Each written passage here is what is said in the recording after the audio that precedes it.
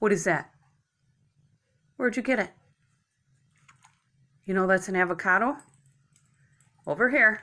What's this? Hey, don't ignore me. What is that? Did you steal that right off the table?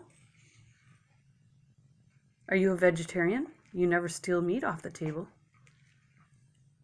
Looks like you ate a lot of that. I'm going to have to look online to see if you could be allergic to that or something.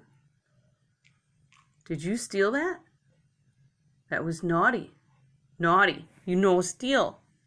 No steal. Do you feel guilty? No. I don't see any guilt. Naughty.